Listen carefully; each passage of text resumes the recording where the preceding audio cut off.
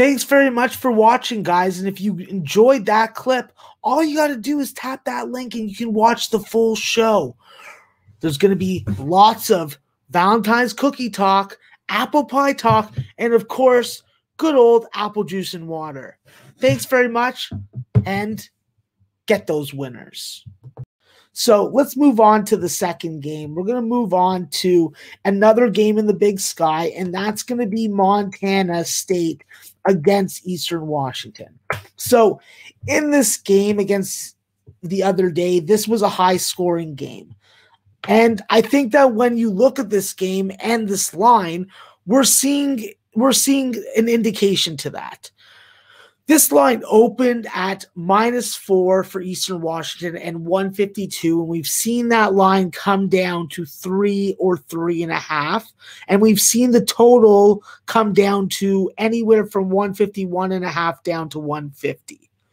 I personally think that it's going to be hard for both these teams to lock each other down defensively with both of these teams, they both shoot the ball well regularly. And the difference in the last game was the fact that Eastern Washington shot 53% and Montana State shot 37%.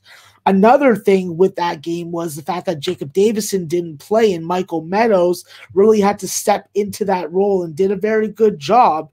But can you really count on getting another 20 points from him in this game?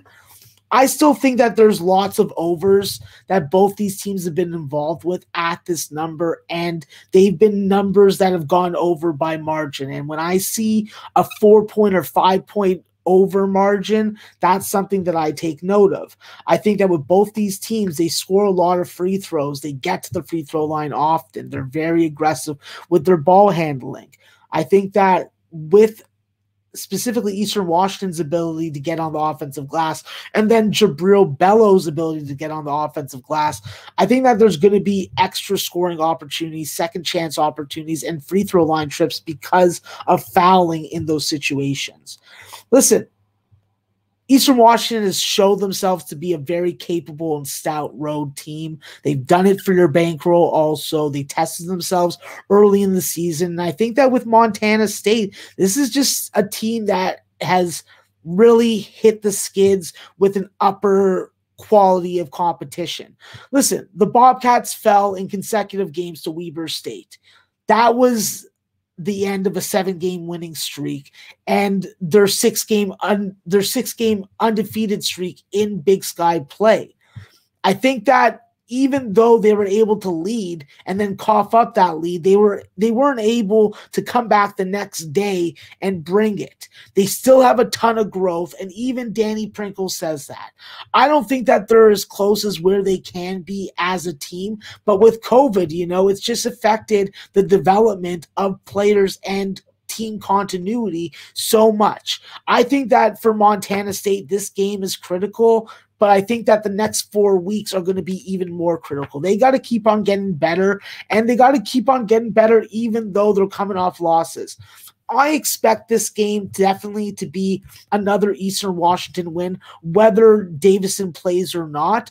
I just think that when you look at Jubrile Belo, there are the Grove brothers and they can go up against him. And then when Amin Adamu, him against Kim Aiken really nullifies them. So it's really going to come down to, in my opinion, what you get out of your guards. And with Robertson and Meadows, I think that they're going to be able to give you a better performance than Xavier Bishop. I think that both teams score more in the second half, usually seven or eight points more. I think that's going to help us. And with the way that both these teams shoot the three, 30 free throw makes combined in conference, aided by good ball distribution, eight out of 10 overs for Eastern Washington in conference. This is a team that's built to win on the road and they're built to go over while doing so.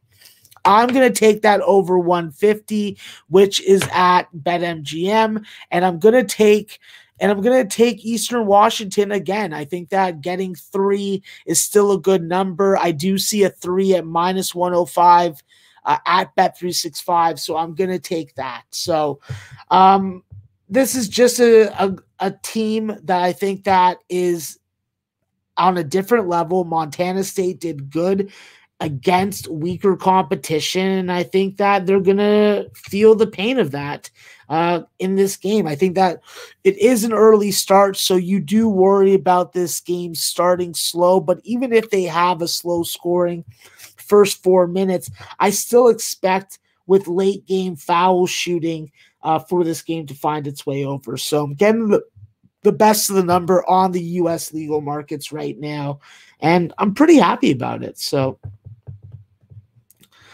uh, we'll move on.